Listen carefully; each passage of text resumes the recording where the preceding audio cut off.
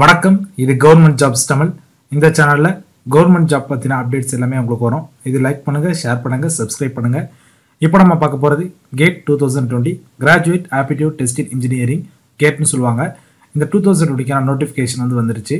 இந்த GATE exam வந்து நடத்துறது யாருன்னு பார்த்தீங்கன்னா Indian institute of science Bangalore அது மட்டும் இல்லாமல் seven Indian institute of technology வந்து இது பண்ணுறாங்க இதெல்லாம் பார்த்தீங்கன்னா பாம்பே டெல்லி கவுகாத்தி கான்பூர் காரக்பூர் மெட்ராஸ் அண்ட் ட்ரோக்கி இந்த கேட் ஸ்கோர் இந்த கேட் எக்ஸாம் டூ தௌசண்ட் டுவெண்ட்டியில் நீங்கள் எழுதி பாஸ் பண்ணிட்டீங்கன்னா அதில் வர மார்க் வந்து உங்களுக்கு த்ரீ இயர்ஸ்க்கு வந்து வேற வேலிடாக இருக்கும். ஓகேங்களா? மொத்தம் எட்டு ஜோன் இருக்குது இந்த கேட் இது பண்ணுறதுல அதில் வந்து பார்த்தீங்கன்னா ஜோன் செவன் வந்து பார்த்தீங்கன்னா Indian institute of technology Madras. அதோட ஜோனல் வெப்சைட் பார்த்தீங்கன்னா GATE dot IITM dot AC dot IN ஓகேங்களா? இந்த கேட் மார்க் வந்து எதுக்கு யூஸ் ஆகுதுன்னு பார்த்தீங்கன்னா பப்ளிக் கவர்மெண்ட்டில் இருக்க பப்ளிக் செக்டர் என்டர்பிரைசஸில் உங்களுக்கு கேட் ஸ்கோர் வச்சு தான் எடுப்பாங்க. இப்போ பார்த்தீங்கன்னா பெல் கெயில் ஹெச்ஏஎல் அதுக்கப்புறம் பார்த்தீங்கன்னா ஐஓசிஎல் என்டிபிசி என்பிசிஏஎல் ஓஎன்ஜிசி அதுக்கப்புறம் பார்த்தீங்கன்னா பிஜிசிஏ இந்தமாரி கம்பெனிஸ் எல்லாமே பார்த்தீங்கன்னா கேட் ஸ்கோர் வந்து வேலிடாக அவங்க கேட்பாங்க. இருந்தால் மட்டும் தான் நம்ம அப்ளை பண்ண முடியும்.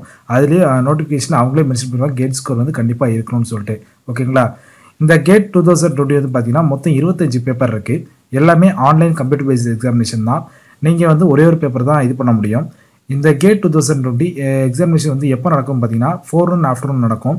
எப்போ பார்த்தீங்கன்னா ஒன்று ரெண்டு எட்டு ஒன்பதாம் தேதிகளில் பிப்ரவரி மாதம் ரெண்டாயிரத்தி இருபதில் வந்து நடக்குதுன்னு இதில் போட்டிருக்காங்க.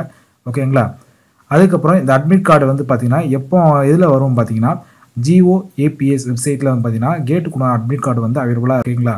கேட் வந்து எப்போ அப்ளிகேஷன் ஸ்டார்ட் ஆகுதுன்னு பார்த்தீங்கன்னா டியூஸ்டே தேர்ட் செப்டம்பர் ரெண்டாயிரத்தி பத்தொம்போது. ரெண்டாயிரத்தி பத்தொம்போது செப்டம்பர் மாதம் மூணாம் தேதி வந்து அதோட ஆன்லைன் அப்ளிகேஷன் லிங்க் வந்து ஆக்டிவேட் ஆகும் அது கடைசியாக இந்த அப்ளிகேஷன் டேட் வந்து எப்போ முடியுதுன்னு பார்த்தீங்கன்னா இருபத்தி நாலு செப்டம்பர் ரெண்டாயிரத்தி பத்தொம்போது. ஓகேங்களா?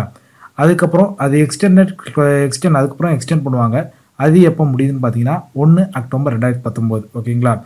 அதுக்கப்புறம் நீங்கள் வந்து எக்ஸாமினேஷன் வந்து ஆல்ரெடி சூஸ் பண்ணிட்டீங்க.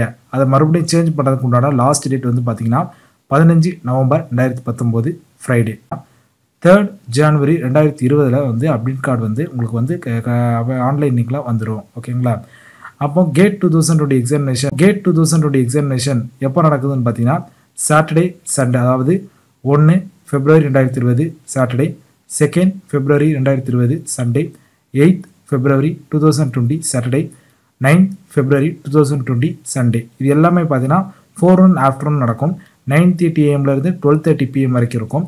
ஆஃப்டர்நூன் செஷன் பார்த்தீங்கன்னா டூ தேர்ட்டி பிஎம்லேருந்து ஃபைவ் தேர்ட்டி பிஎம் வரைக்கும் இருக்கும் அப்படின்னு சொல்கிறாங்க இந்த கேட் டூ தௌசண்ட் டுவெண்ட்டிக்கான ரிசல்ட் எப்போ வரும் பார்த்தீங்கன்னா sixteen March two thousand twenty Monday அப்போ உங்களுக்கு வந்து கேட் டூ தௌசண்ட் டுவெண்ட்டிக்கான ரிசல்ட் வந்து வந்துடும் ஓகேங்களா இதில் வந்து physical calculators mobile phones wrist watches எல்லாமே உள்ளே கொண்டு போகக்கூடாது அப்படின்னு சொல்கிறாங்க ஓகேங்களா எலிஜிபிலிட்டி க்ரைட்டீரியா கேட்டுக்கு வந்து பார்த்தீங்கன்னா பிஇ பிடெக் பிஃபார்ம் ஓகேங்களா குவாலிஃபிகேஷன் டிகிரி அது வந்து பார்த்தீங்கன்னா அது இன்ஜினியர் இருக்கணும் இன்ஜினியரிங் டிகிரி ஃபோர் இயர்ஸ் இருக்கணும்.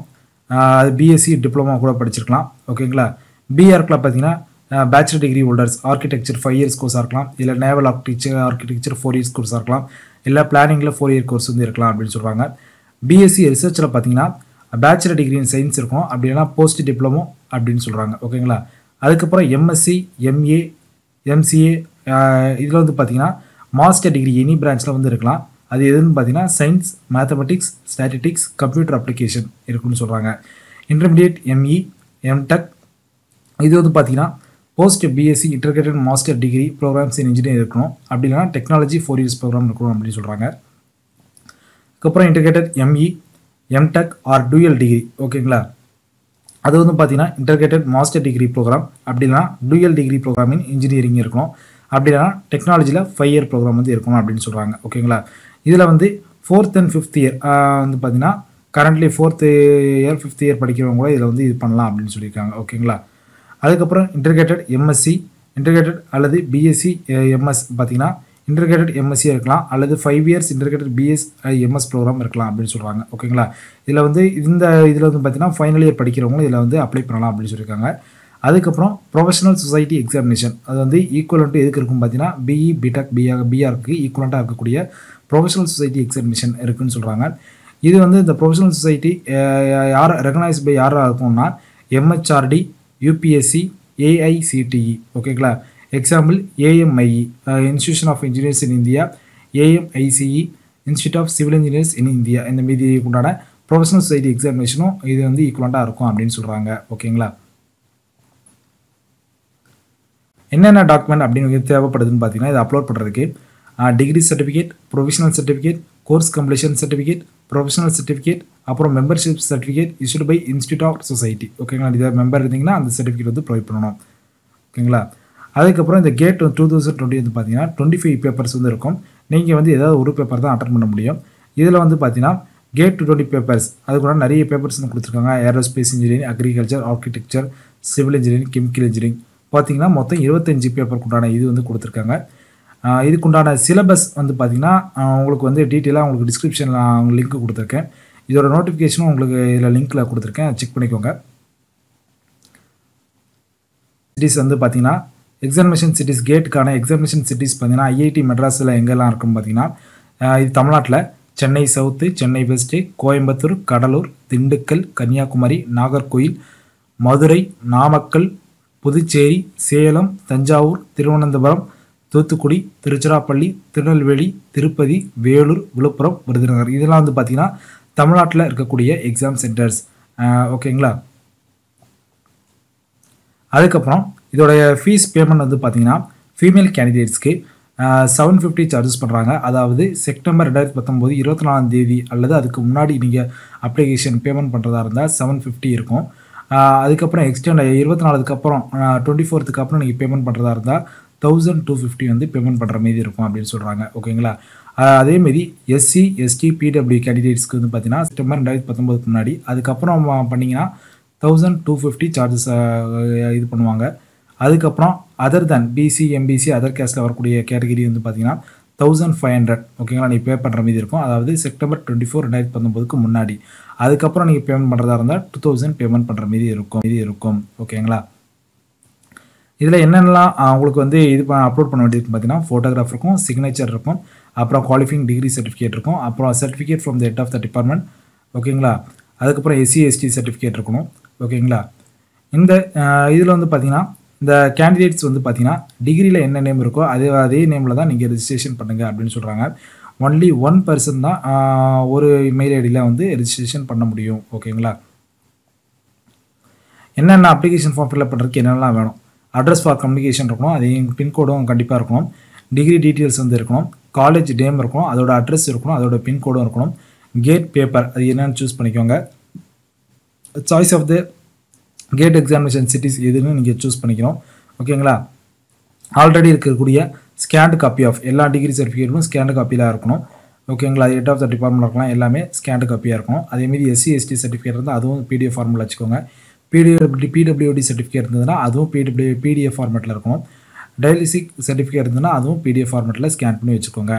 அதுக்கப்புறம் வேலிட் ஐடென்டிட்டி ப்ரூஃப் வந்து கேட்குறாங்க ஓகேங்களா எக்ஸாமினேஷன் நீங்கள் கொண்டு போகணும். வேலிட் ஐடென்டி ப்ரூஃப் வந்து இதில் வந்து அவைலபிளாக கண்டிப்பாக இருக்கும்னு சொல்கிறாங்க இது பேமெண்ட் வந்து பார்த்தீங்கன்னா net banking debit card credit card மூலிமா பேமெண்ட் பண்ணிக்கலாம் அப்படின்னு சொல்கிறாங்க சப்மிட் அண்ட் ப்ரொசி பேமெண்ட் பண்ணதுக்கப்புறம் நீங்கள் அப்ளிகேஷனை சேஞ்ச் பண்ண முடியாது அப்படின்னு சொல்கிறாங்க ஓகேங்களா என்னென்ன ஐடென்டி ப்ரூஃப் வந்து சொல்கிறாங்கன்னா passport PAN card voter ID Aadhaar college ID employee ID driving licence இதெல்லாம் வந்து இருக்கலாம் அப்படின்னு சொல்லியிருக்காங்க. ஓகேங்களா வந்து பார்த்தீங்கன்னா ஃபோட்டோகிராஃப் வந்து பார்த்தீங்கன்னா இங்கே பாஸ்போர்ட் சைஸ் ஃபோட்டோவாக இருக்கும். அது வந்து three point five centimetre பிடித்தும் four four point five centimetre ஹைட்டும் இருக்கும்னு சொல்கிறாங்க இந்த ஃபோட்டோகிராஃப் வந்து கலரில் இருக்கணும்.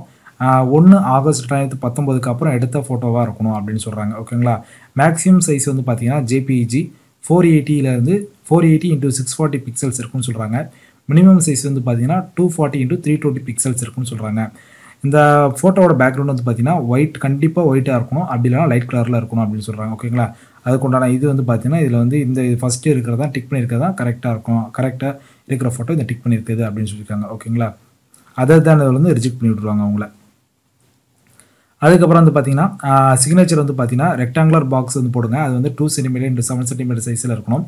அதில் பிளாக் ஆர் டார்க் ப்ளூ இங்கில் வந்து சைன் பண்ணுங்கள் ஓகேங்களா அதுக்குண்டான இது மாடல் வந்து இதில் கொடுத்துருக்காங்க. சைன் மாடல் அது வந்து பார்த்துக்கோங்க ஓகேங்களா அதோட அதோட ஃபைல் சைஸ் வந்து பார்த்தீங்கன்னா ஒன் சிக்ஸ்டிலேருந்து ஃபைவ் சிக்ஸ்டி பிக்சல்ஸ் வந்து மேக்ஸிமம் இருக்கணும்.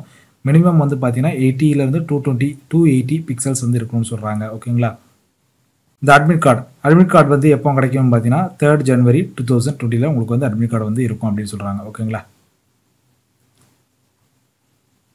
ஓகே இதில் வந்து பார்த்தீங்கன்னா நெகட்டிவ் மார்க்கிங் இருக்குது இதில் மொத்தம் அறுபத்தஞ்சு கொஸ்டின்ஸ் இருக்கும். மொத்தம் நூறு மார்க்குக்கு அதில் பத்து கொஸ்டின்ஸ் வந்து ஃபிஃப்டீன் மார்க்ஸ் ஓகேங்களா ten questions carrying total fifteen marks will be on general ஆப்டிடியூடில் இருக்கும் அப்படின்னு சொல்கிறாங்க ஓகேங்களா அறுபத்தஞ்சு கொஸ்டின் நூறு மார்க் இருக்கும். அதில் பத்து கொஸ்டின் வந்து பத்து கொஸ்டின் வந்து பதினஞ்சு மார்க் உண்டான ஜென்ரல் ஆப்டிடியூடாக இருக்கும் அப்படின்னு சொல்கிறாங்க ஓகேங்களா அதேமாரி இந்த பேப்பர்ஸ் இந்த நிறைய கோடு வந்து கொடுத்துருக்காங்க. இதில் இன்ஜினியரிங் மேத்தமெட்டிக்ஸ் வந்து பார்த்தீங்கன்னா ஃபிஃப்டீன் பர்சன்டேஜ் இருக்கும். டோட்டல் மார்க்கில் அதேமாதிரி ஜென்ரல் ஆப்டிடியூட் செக்ஷன் வந்து பார்த்தீங்கன்னா ஃபிஃப்டீன் பர்சன்டேஜ் இருக்கும். ரிமைனிங் வந்து செவன்ட்டி பர்சன்டேஜ் இருக்கும் அப்படின்னு சொல்கிறாங்க ஓகேங்களா? அதர் தென் இந்த அது ரெண்டாவது இதில் பார்த்தீங்கன்னா இந்த papers bearing code AR CO EO etcetera இதில் வந்து பார்த்தீங்கன்னா ஜென்ரல் ஆப்டிடியூட் செக்ஷன் வந்து ஃபிஃப்டீன் பர்சன்டேஜ் இருக்கும். ரிமைனிங் வந்து எயிட்டி ஃபைவ் பர்சன்டேஜ் வந்து இருக்கும் அப்படின்னு சொல்கிறாங்க ஓகேங்களா? கேட் டூ தௌசண்ட் டுவெண்ட்டி ஒரு நல்ல ஆப்பர்ச்சுனிட்டி இதை யூட்டிலைஸ் பண்ணிக்கோங்க. கேட் எக்ஸாம் வந்து நல்லா பண்ணுங்கள் அதோட மார்க் வச்சு உங்களுக்கு பப்ளிக் செக்டர் என்டர்பிரைசஸில் கேட் மார்க்கை வச்சு நீங்கள் வந்து உள்ளே போகலாம் ஏன்னா அதை வச்சு தான் ஷார்ட் லிஸ்ட் பண்ணுவாங்க. உங்களுக்கு அதில் வந்து தனியாக நீங்கள் எக்ஸாம் எழுத வேண்டியதில்லை. அதனால் கேட் வந்து இப்போ ரொம்ப ரொம்ப இம்பார்ட்டண்ட் அதனால் எல்லோரும் கேட் ஆல்ரெடி இன்ஜினியரிங் படிச்சுட்டு இருக்கவங்க கேட் வந்து அப்ளை பண்ணுங்கள் அது உங்களுக்கு ஃபர்தராக யூஸ்ஃபுல்லாக இருக்கும்.